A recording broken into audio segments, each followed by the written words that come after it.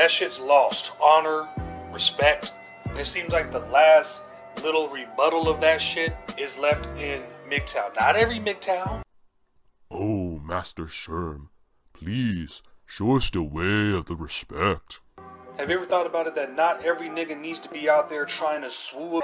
Because motherfuckers like you, it's you gonna still be anti-MGTOW. Motherfucker. Well, you're certainly setting a good example. What happened to honor and respect? Calling people you don't like motherfuckers, using racial slurs, and referring to women as bitches doesn't seem respectful or honorable to me.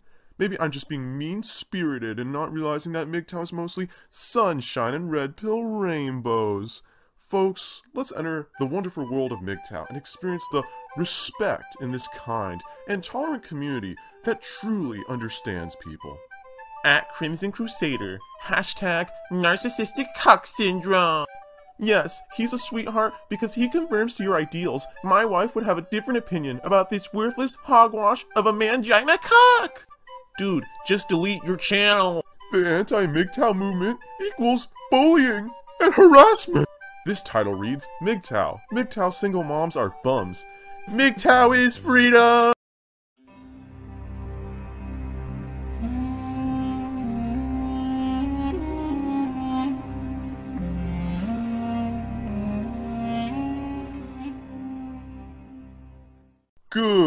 Good morrow, ladies and gents. It is I, the Crimson Crusader, your favorite anti-MGTOW YouTuber that MGTOWs love to hate.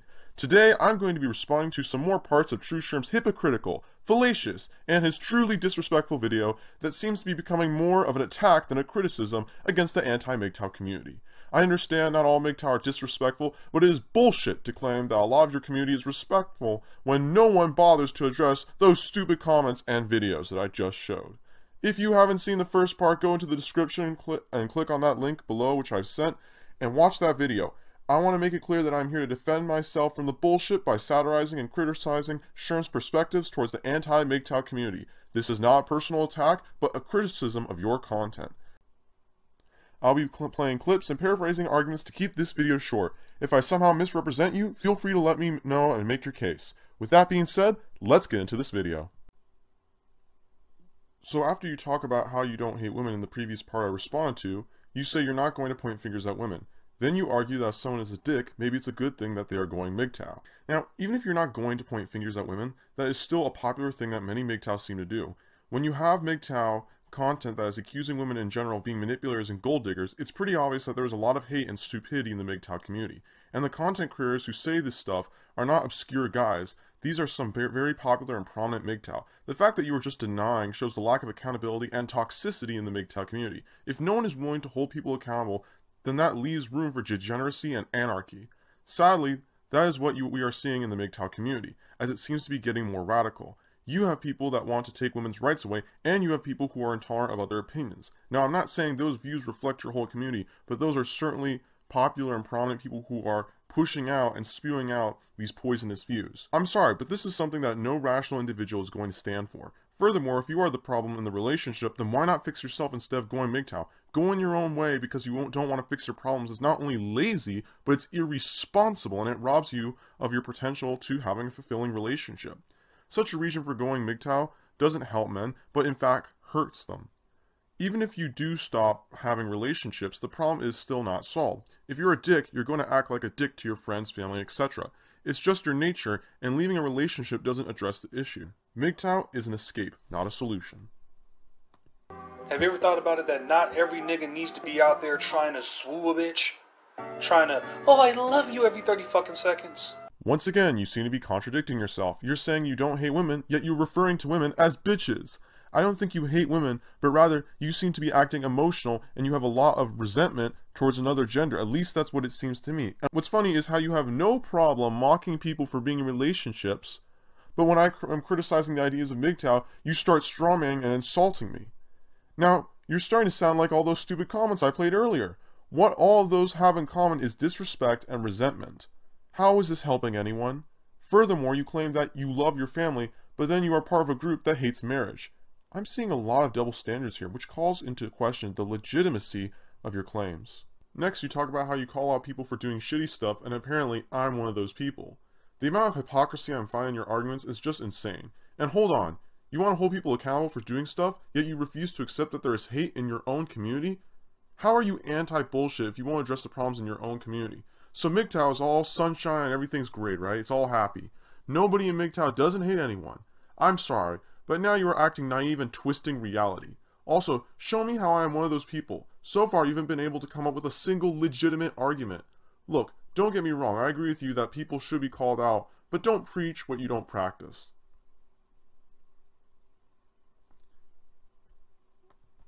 Then you say that my bullshit won't change you because I haven't walked in your shoes.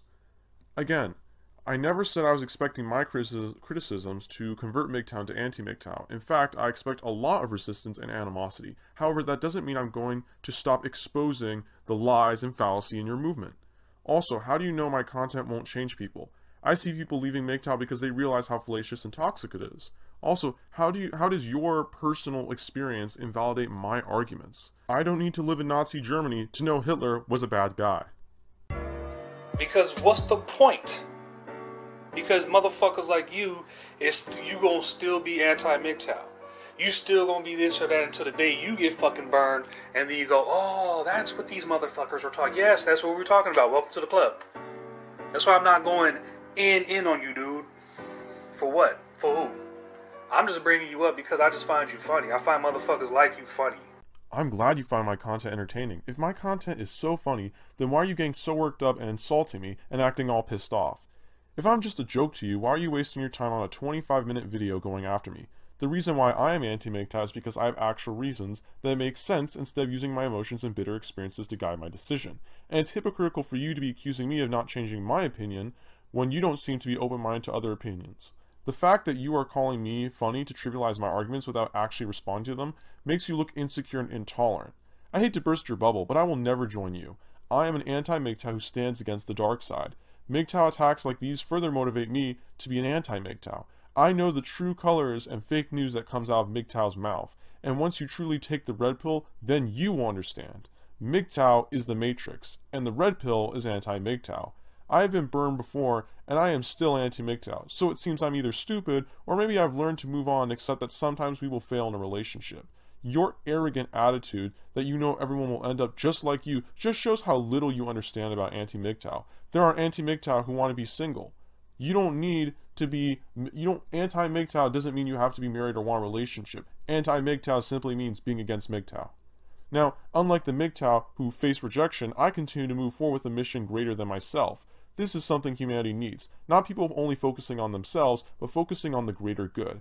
I am not the center of the universe, and if I want a better tomorrow for men of the future, it's up to the people in the present to do something about it.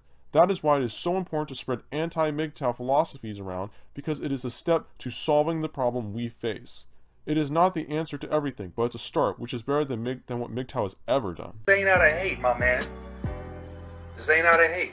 I'm sitting down like like two men going to a bar. Back in the day, two men get into a fight. The man the man who won, he would usually be the bigger man and treat the man who got his ass whooped to a beer. To talk about the experience of the combat we just indulged in. Right. Well, I would be happy to treat you to a beer, but again, I don't know if you would be willing to sit down and listen to me. It's really hard to say that you're not doing this out of hate when you are strawmanning me, shaming me, laughing at me, and you are mocking people for being in relationships, and you also insult women. I don't think you are hateful. I again, I think you're just being emotional and bitter, and I understand that. But that still doesn't excuse bad behavior. This pr- continues to prove my point of how emotional rather than rational MGTOW seems to be. What's funny is how you treat this as if it's some sort of battle when in reality we are just two people disagreeing on something. That that's that's it. There's nothing more to it. Let's not act like feminists and turn this into some sort of soap opera. Sorry, this isn't Star Wars, dude. Then you say how anti MGTOW are calling MGTOW gay, and then you say how you don't have to be gay to talk to a man or have a conversation with him. Well, no shit, Sherlock. How do you think sons talk to their dads? Seriously, though, this is such a retarded argument that whoever is saying this is probably on something. I don't know why this is even in the video, because I have never said men in MGTOW are gay or that you must be gay to talk to a man. I haven't heard any MGTOW argue that. I agree with you that this is stupid, but why are you mentioning things I've never brought up? It seems you are lost and confused, which is probably because you haven't watched my whole video. Then you talk about how, how honor and respect is dying, and you say, for the most part, you see a bunch of respectable MGTOW. How is there more honor and respect in MGTOW? Again, your personal experience in this case is not enough evidence to prove that MGTOW are mostly respectable people. If most MGTOW are respectable, then why isn't a lot of the MGTOW community holding some of its members accountable for promoting hate? If you want to go on personal experience, I can tell you that MGTOW has more toxicity than respect. That was what I was demonstrating earlier in this video with those comments to expose this poor, poor logic. For me, MGTOW is toxic because its ideas and attitudes help promote toxicity.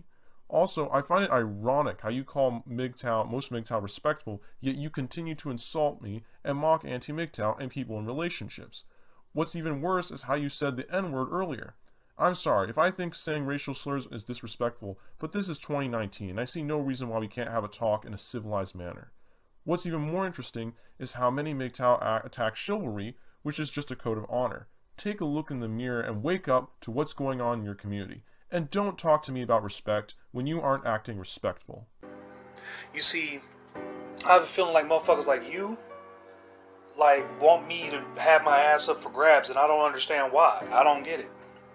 I don't want to fucking go through a divorce. Maybe you should stop listening to your feelings and focus on the facts. Again, I never said that I want to force men into marriage or that all men should be married. It's okay to be single for the right reasons, but I don't think it's okay to be MGTOW. Maybe the reason why you don't understand is you're not listening to what I have to say. Again, the reason I'm against MGTOW is because it is counterproductive to society, because it is creating this victim mentality. Many MGTOW think they are victims of some sort of gynocentric society that can't be changed, creating a sense of hopelessness. Why would I allow MGTOW to continue to spread such a fallacious and depressing attitude? It is this apathetic and pathetic attitude that kills change. If everyone said the Nazis were unstoppable and we just gave up, what do you think would happen to human life? Do you know what would happen to freedom? We would lose it. If men are truly being attacked by this gynocentric society, why are MGTOW not making attempts to undermine it? If MGTOW is just focusing on themselves rather than focusing on the problem, then the problem will only get worse because you are allowing it to grow without resistance. But again, gynocentrism is bullshit anyways because there has never been any historical examples of a gynocentric society that caters to women. This leads me to another reason to be anti-MGTOW. MGTOW is the number one producer of fake news on the internet. Take hypergamy for example. That is obvious bullshit. I have not seen one scientist, psychologist, or biologist that has proven its existence. What's even worse is this shitty logic that some MGTOW try to use to prove it. For example, some MGTOW have argued that hypergamy is real because there are many instances of girls monkey branching to men with more money. Then I ask, why do monkey why do women monkey branch to men with more money? And these MGTOW respond because hypergamy. So basically, hypergamy exists because the situation is hypergamous. The problem here is that they are assuming that the premise is true without actually proving it. These are just some obvious reasons to reject MGTOW, and I have many more, but I'm here to respond to you. After this, he tried to justify going MGTOW by saying that there was a 50% chance of getting divorced in 2011, and divorce has probably gone worse. And you also mentioned earlier how women initiate 70% of divorces, and these seem to be your reasons for not getting married. So the logic in this argument is so flawed that it amazes me how people actually believe this. While it is true half of marriages were expected to end in divorce, that is a very general statistic that fails to overlook many factors. And because MGTOW failed to take into account these important factors, they end up giving their viewers very misleading information. Remember, that the rate of divorce does not mean if you marry someone, it has a 50% chance of failure. You can reduce this risk of having a divorce by hanging out with moral and respectable people. The stability of a marriage depends also on your social class. For example, people who are more educated and more religious are less likely to be divorced. Even more interesting is how people in the law enforcement are less likely to get divorced than entertainers. Now, this seems to contradict the idea of social hypergamy, that the idea that a woman will be basically monkey branching to people with more status. If anyone should be getting divorced more, it should be law enforcement because they have less social status than entertainers. Even ethnicity seems to play a role. Asians are less likely to be divorced than Hispanics. Now, I'm not saying not to date a Hispanic person, but I'm just illustrating how this 50% rule doesn't apply to everyone. And at the end of the day, it all depends on who you are dating, which is why it's so important to choose wisely. Furthermore, since 1992, we've been seeing a steady decline in divorce rates, according to Statista.com. These findings of decline in the rate of divorces have also been replicated by statistics from the CDC in 2011. It's clear that things are getting better, and this idea that it's too dangerous to get married is utter nonsense. While you could argue the cause of the decline in divorce is because marriage rates are decreasing, in reality, the reason why marriages have decreased is people have gone wiser about the art of marriage. They are instead marrying later when they have financial security to improve the stability of a relationship. This is because Western culture is focusing more on careers to attain this financial stability by educating the general population, which takes time away from having a family. Also, the argument that 70% of women divorcing you means that if you meet a woman, she is most likely going to initiate divorce is bad logic. Using that logic, I could argue that because most people who have committed crimes are black, that means my black neighbor is most likely a criminal. That would be considered racist, but somehow it's not sexist to accuse women in general of being the ones who will most likely divorce a man for the wrong reason. And that is just jumping to conclusions right there. It is this kind of misinformation that is robbing the happiness of men. It's not impossible to find a relationship. You just need to know what you are doing and you need to look in the right place. I'll leave links to these articles in the description box below if you want to check them out. Now let's wrap up. Alright, I'm going to end this video here folks because I'm taking a break from the stupidity of these arguments. This video is truly disrespectful and it's a shame that people can't talk without being honorable and respectful. It's okay to attack ideas, but it's not cool to attack other people while acting like a hypocrite. It's such a dick move. Thank you for watching this video, and if you enjoyed this content, give it a like. If you support the anti-MGTOW cause, or you are just interested in hearing other perspectives, consider subscribing to my channel and clicking the notification bell so you can get the latest updates on my most recent content. You can also follow me at, at Crimson Crusader as well. Was Tru Sherm disrespectful? How toxic is the MGTOW community? Is MGTOW open to other people's opinions? Let me know in the comments below. My fair ladies and honorable gents, fare thee well.